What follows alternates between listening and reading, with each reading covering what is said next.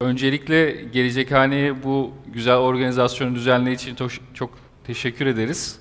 Ve sizlere de hoş geldiniz diyorum. Ee, gördüğünüz üzere ismim Mehmet Öztürk. Az kaynak, e, yani Eczacıbaşı ve Lincoln Elektrik'in ortak iştirakı olan e, az kaynakta e, robotik sistemlerden sorumlu ürün yöneticisi olarak çalışmaktayım.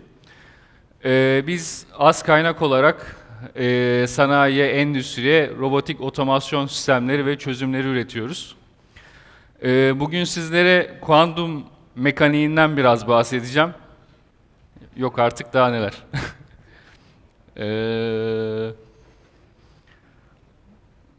baş, şimdi başlayacak olursak, e, görmekte olduğunuz e, kozmik takvim, kozmik takvim 13.7 milyar yıllık e, evrenin tarihini elle tutulabilir, ölçülebilir hale getirmek için kullandığımız aslında bir takvim. Ünlü astrofizikçi Carl, Sagan'ın e, The Dragons of Eden adlı kitabından meşhur olmuş bir e, takvim olarak söyleyebiliriz. Şimdi e, öğrencilik yıllarımdayken e, Almanya'ya e, değişim öğrencisi olarak gitmiştim.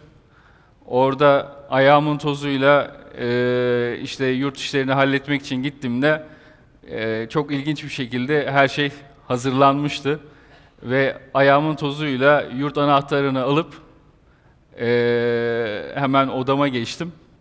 Orada eşyaları yerleştirdikten sonra e, şöyle bir ellerimi yüzümü yıkamak için lavaboya girdiğimde aynada gördüğüm yazı.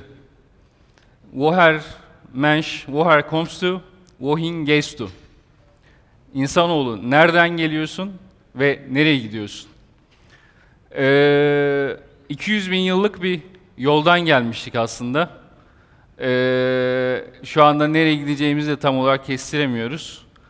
Biz işte bu 200 bin yıllık insanlık tarihini Carl Sagan'ın yaptığı gibi bir yıllık bir takvime sığdıracak olursak aslında baktığınızda ilk insan yani ilk modern insan yaklaşık bundan 200 bin yıl önce 1 Ocak'ta doğmuş oluyor. Ve tarım 18 Kasım'da ilk insanlık, insanoğlunun hayatına girmiş oluyor.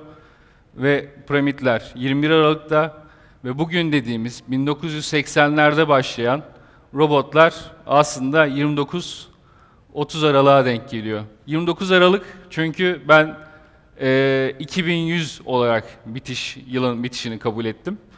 E, ve sonrasında da benim çok önemli gördüğüm e, yani bundan 2025 yılında ticari olarak artık kullanılmaya başlayacağını düşündüğümüz kuantum bilgisayarlar ise yani 27. dakikada yani bundan 26 dakikadan sonra artık hayatımıza girmeye başlıyor. Şimdi bugünden yani robotların olduğu kısımdan biraz bahsedeceğim size. Dünya dünyadaki endüstriyel robotların durumu nasıl? Ee, aslında çok üstsel bir ilerleyiş var. Ee, robotların kullanım oranı dünyada giderek artmakta. Solda gördüğünüz grafikte 1973'ten yani bugüne kadar geldiğimiz süreçte robotlardaki kullanım oranlarını ve dünyadaki robot kullanım oranlarını görmektesiniz. Ee, sizlerin de gördüğü üzere bu artış çok üstsel bir şekilde gerçekleşiyor.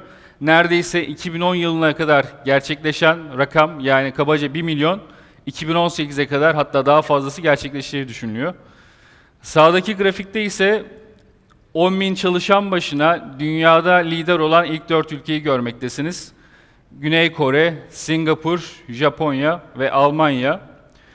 Ee, bu robot yoğunluğu belki robot kullanım arı, e, robot sayısı anlamına gelmesin e, kesinlikle. Çünkü Çin örneğin 287 bin robot ile dünyada ikinci sırada ve çok e, gelecek stratejisi dahilinde de çok miktarda endüstriyel robotlara yatırım yapıyor ve 3-4 yıldır da e, çok fazla bir alım yapıyor. Muhtemelen bu grafiğe de yakın zamanda girebilir, yani sağdaki grafiğe. E, yine en çok tartışılan konulardan bir tanesi robotların gelmesiyle beraber, dijitalleşmenin gelmesiyle beraber e, işsizliğin artacağı konusu. Burada çok önemli bir nottan, bir araştırma sonucundan aslında bahsetmek istiyorum. Ee, Almanya 2015'ten 2025'e kadar Endüstri 4.0 ile %6'lık bir istihdam artışı bekliyor. Peki neden dünyada böyle bir trend var? Neden endüstriyel robot kullanımı, dijitalleşme gibi trend e, ya da e, farklı sanayi akımları görmekteyiz şu anda bugünümüzde.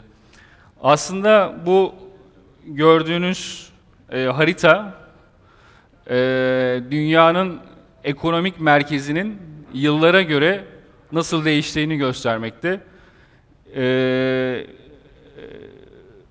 e, binden işte yaklaşık Afrika, Pakistan'ın e, hemen altındayken e, e, sonrasında işte İngiltere'nin kuzeyine doğru, Amerika'ya doğru yaklaşıp sonra Rusya'nın kuzeyinden günümüzde ise Çin ile Hindistan arasına doğru yani 2005 yılında 2005 2025 yılında Çin ile Hindistan arasında bir yere e, konumlanması beklenmekte.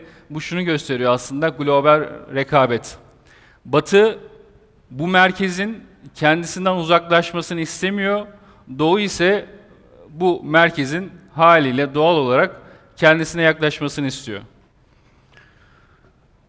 Peki biz burada neredeyiz? Türkiye olarak biz neredeyiz? Bu yarışta yer almalı mıyız? Ee, bence tabii ki ülkemizin geleceği için, iyiliği için herkes zaten bu yolda e, ilerliyorken, yarış halindeyken bizim de kesinlikle yer almamız lazım. Ancak şöyle bir, e, şu anda vahim bir tablo var e, gördüğünüz üzere. E, bizim 10 bin çalışan başına endüstriyel robot sayımız 19. E, dünya robot piyasasındaki e, aldığımız pay sadece yüzde 0.67. E, bunun haliyle, bunun sonucu olarak birçok sebebi var aslında ama e, bu da etkenlerinden bir tanesi. Bunun sonucunda ise ihracatta ileri teknoloji oranların oranı ise gördüğünüz üzere yüzde dört. Gerçekten çok kötü. Yani Lübnan e, seviyelerindeyiz galiba. Şimdi bugünden çıkıp biraz daha zevkli olan geleceğe doğru bakarsak durum ne, ne olacak? Ben kuantum bilgisayarlarını insanlık yani geleceğinde çok önemli bir yere sahip olacağını düşünüyorum internet gibi. E, çünkü e, The Wave e, kuantum bilgisayarı yapan bir firma ve kurucusu şunu diyor. E, 50 milyon kitabın olduğu bir kütüphanede bir kitapta yazılı olan bir X ya da bir e, kelimeyi aradığınızı düşünün diyor. Ve bunu 5 dakikada yapmanız gerekiyor. Ee, eğer siz her bir kitabı tek tek bakıp ve o harfi ya da kelimeyi bulmaya çalışıyorsunuz, bulmaya çalışıyorsanız siz klasik bilgisayarsınız.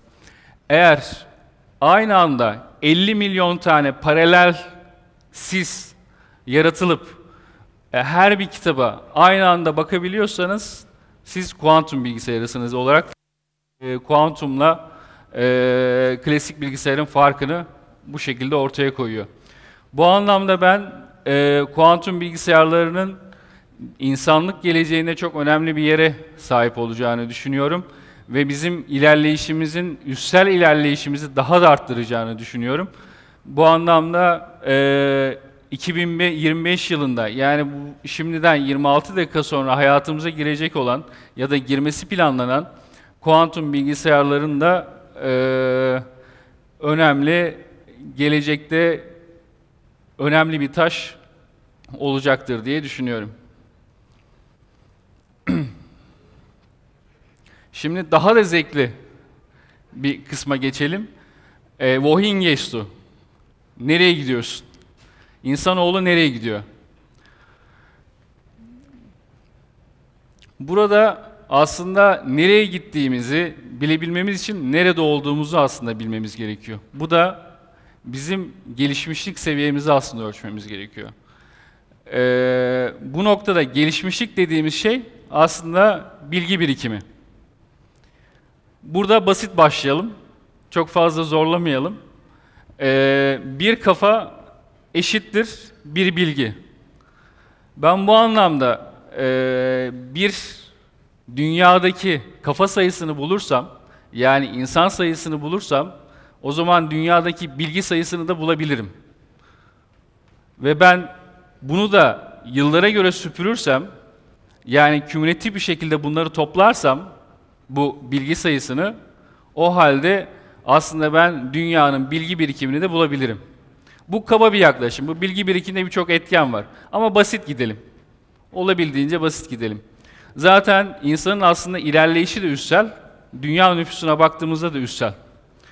Bu anlamda bu 200 bin yıllık e, süreçte ben bir işte e, iki kişiden başlayıp yaklaşık 7,5 milyar milyarlık bugünkü insan nüfusuna uyacak bir e, bir üstsel eğri oluşturdum sizler için. Bu noktada şanslısınız. E, 200 bin yıllık süreç işte gördüğünüz üzere böyle bir e, dünya nüfusu grafiği çıkıyor. Yıllara göre değişim. Ben bu eğrinin altındaki kalan kısmı bulduğumda ise o bahsettiğimiz aslında toplam bilgi birikimini 200 bin yıllık insanoğlunun bilgi birikimini bulmuş olurum. Kaba ve basit bir yaklaşımla. Şimdi bu noktada bu yıllık dünya bilgi birikimine eşittir insan 1.0 dersem peki insan 2.0 ne zaman acaba olacak? Yani şu andaki bilgi birikimin iki katı bundan ne kadar zaman sonra gerçekleşecek? Bundan 200 bin yıl sonra mı gerçekleşecek? 100 bin yıl sonra mı gerçekleşecek? Aynı olay. Tahminler var mı bu arada? 50 bin, 100 bin? Yok galiba. Neyse ben devam edeyim o zaman. Buyurun. 10 yıl. Güzel bir tahmin. İyimser bir tahmin oldu. Ee, şimdi bu grafiğe koyduğumuzda yani e, bu bilgi birikimini toplayıp üstsel ilerlemeyi de hesaba kattığımızda aslında kabaca şöyle bir rakam çıkıyor. İşte insan birisi bu zamana kadarki insanoğlu 200 bin yıllık, süreçte gelmiş. Aynı miktardaki insanoğlu bir ikinci sürece, bir ikinci adıma e, yaklaşık 207 bin. Yani 7 bin yıl sonra sonraki üçüncüsü yani 2 nokta iki katı olan insan yaklaşık e, bundan 11 bin yıl sonra, bugünden sonra baktığınızda aslında insan ilerleyişi sonrasında e, artık neredeyse bir yıl içerisinde, iki yıl içerisinde düşünün 200 bin yıl içerisinde geldiğimiz bu süreç, bu evrim ve bilgi birikimi ilerleyen zamanlarda artık bir yıla, iki yıla düşüyor. Süper insan belki bunun sonucu bilmiyorum. Ölümsüzlüktür de bilemiyoruz. Ee,